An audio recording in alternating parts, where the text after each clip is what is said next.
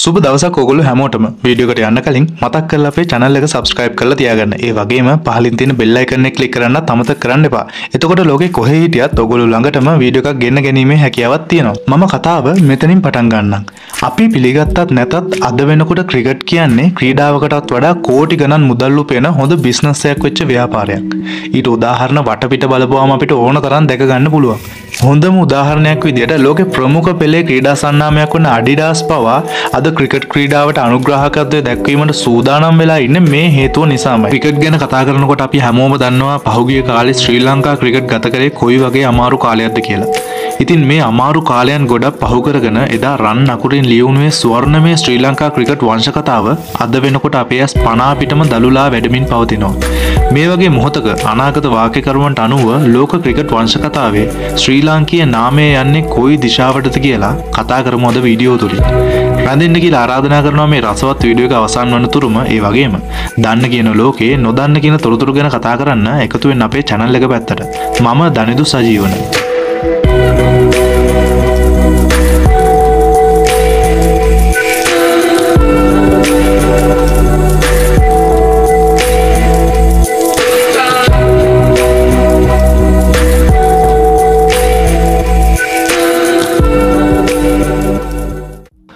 වර්තමානය වෙනකොට ක්‍රිකට් කියන්නේ එක්තරා විදිහක ආගමක් කියන එක බොහෝ දෙනෙක් අවිවාදයෙන්ම පිළිගන්න කරුණක්. නමුත් මෙහෙම නොපිළිගන්න අයත් නැතුවම නෙමෙයි.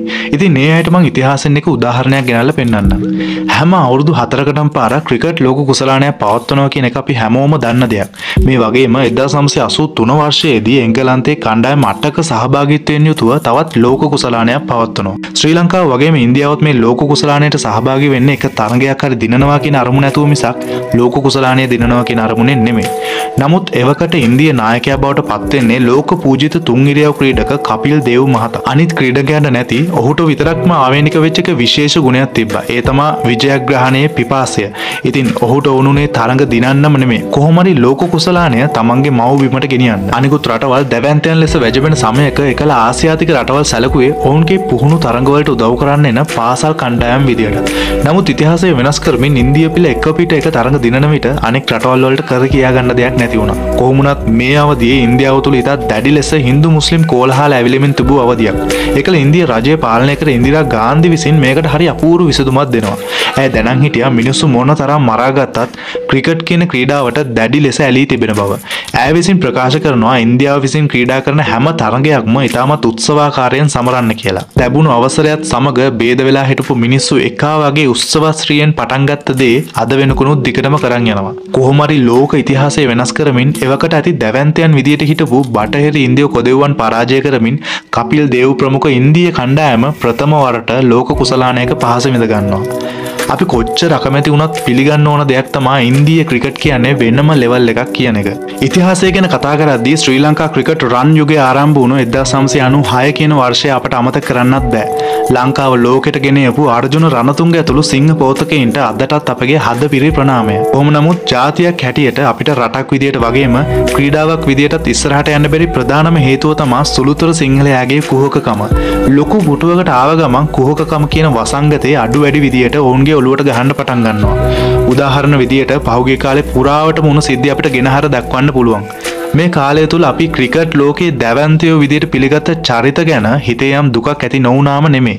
කෙසේ නමුත් ආගමක් වුණු ක්‍රිකට් අපෙන් ඈත්වෙන්න හදපු කාලෙක වියකී ගියේ රන් යුගය දසුන් ශානක ප්‍රමුඛ නවක ශ්‍රී ලංකා කණ්ඩායම අපට නැවත උදාකර දෙයයි බලාපොරොත්තුවක් ඇති කරලීමට අවශ්‍ය කරුණු කාරණා රාශියක්ම මෑතකදී සිද්ධ වුණා. ඉන් ප්‍රධානම දේ තමා 2022 ආසියානු කුසලානය ජයග්‍රහණය කිරීම. හැම රටක්ම අපිව හැල්ලු කරපු මොහොතක ඒ ලැබූ ජයග්‍රහණය දේශපාලනයෙන් මිරකී සිටි ශ්‍රී ලාංකිකයන්ගේ හිතට සැනසීම දුන්නු ඉතා වටිනා තිලිනයක්. ලෝකප්‍රකට අනාවැකිකරුවෙකුණු මොහිදූර් ජයදූර් වරක් කියා සිටිනවා ඉන්දියාව තුළ පවත්වන ලෝක කුසලානයකදී අවසන් තරගය සඳහා ක්‍රීඩා කරනු ලබන්නේ ඉන්දියාව හා ශ්‍රී ලංකාව වන අතර ශ්‍රී ලංකා කණ්ඩායම ඉතා විශිෂ්ට ලෙස ජයග්‍රහණය කරන බව. අනාගත වාක්‍ය අනාගත් වාක්‍ය වෙන්න වැඩි වෙලාවක් යන්න නෑ කියලා අපි හැමෝම දන්නවා. නමුත් මේ කියන්නේ දෙදස් විසිතුන එක් දින ලෝක කුසලානය ගැන වෙන්නත් පුළුවන්. තවමත් නියත වශයෙන්ම අවසන් කණ්ඩායම් දහය අතරට ලංකාව සුදුසුකම් නොලබෝද ලංකාව පිළිබඳව ලෝකම පිළිගන්න එක මතයක් තියෙනවා ඒ තමා ක්‍රිකට් ඉතිහාසය විශ්වාස කළ නොහැකිම රට ලංකාව කියන එක මේ දේ තවටත් සනාත කරමින් හිටපු පකිස්ාන් සුපිරි ක්‍රීඩක වකා යුනිස් වරක් මාධ්‍යයට මෙහෙම ප්‍රකාශයක් කරනවා. නැවතත් මේ ආරම්භ වෙන්නේ ශ්‍රී ලංකා ක්‍රිකට් වල ස්වර්ණමය වසර කිහිපයක්. මොකද ලෝකය විශ්වාස කළ නොහැකිම රට ශ්‍රී ලංකා කණ්ඩායම නිසා. මේ දෙවල් කොහොමුණත් සියයට සියක් අනාගතවාකි පිළිගත නොහැකි නමුත් වර්තමානය ගැන බලපුහම දසුන් ඇතුළු කණ්ඩායමේ ප්‍රගතිය තුළ ඉතා කැපී පෙනෙන වෙනසක් තියෙනවා කියලා අපි හැමෝටම පිළිගන්න පුළුවන් කරුණක්. ඒ වගේම තමා මොහිදූර් තවදුරටත් කියා සිටිය ලංකාව තුළින් ක්‍රිකට් ලෝකෙම වෙනස් කරන නායකයකු බිහිවෙන බවත් ඔහු ශ්‍රී ලංකා ක්‍රිකට් වෙනස් කරන බවත්. ඉතින් මේ කියන්නේ පුරාවෘතමය අංක හත ජර්සියෙන් සැරසිලා ලෝකෙ හොල්ලන්න එන දස්සුන් ශානක ගැන වෙන්නත් පුළුවන්. මං පුරාවෘතමය අංක හත කියල කිව්වේ ක්‍රීඩාලෝකයේ අංක හත කියන්නේ විශේෂිත වූ අංකයක්. අංක හත දරන්නන් සැමවිටම ලෝක පූජිතයන් විදියට තමන්ගේ ක්‍රීඩා ජීවිතය අවසන් කරනවා. මේකට උදාහරණ විදියට ක්‍රිස්ටියානෝ රොනාල්ඩෝ එම්ස් ධෝනි ඒ වගේම තමා ඉන්දිය ක්‍රීඩකයන්ට ක්‍රිකට් එපා කරෝපු ලංකාවේ පුරාවෘතය. සනත් ජයසූරිය මාස්ට බ්ලාස්ට මේ වගේ දැවන්තයෙන්ම උදාහරණ විදියට ඔගලන්ට දෙන්න පුළුවන්. මේ දේවල් කොහොමුණත් අද වෙනකොට මේ වාක්‍ය දසුන් විසින්ම ලෝකයට ඔප්පු කරමින් තිබෙනවා.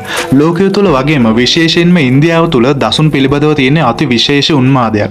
මේකට හේතුව දසුන්ගේ තියෙන විශේෂී හැකියාව.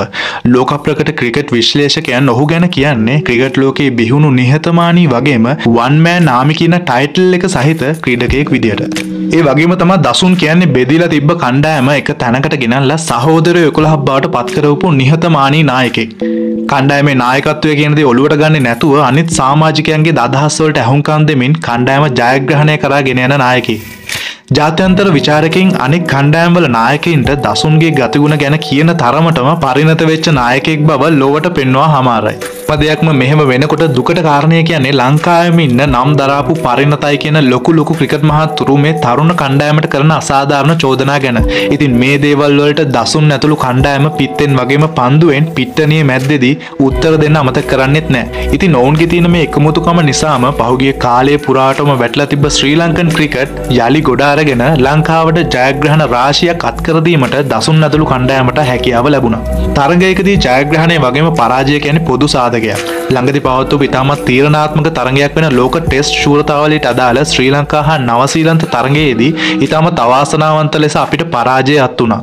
ගොඩක් අය හිතේ තියෙන දුකට සමහර ක්‍රීඩකයන්ට බැන්නත් අපි අමතක කරන්න හොඳ නෑ ඉතාමත් තීරණාත්මක තරඟවලදී ඔවුන් ලංකාව ජයග්‍රහණය කරපු විදිය ගැන. ඒ වගේම තම පිටින් අපට නොපෙනුනට මේ තැනට පැමිණෙන්න ඉතාමත් වෙහෙස කර පුහුණුවීම් වල ඔවුන් නිරත වෙන්නත් ඇති.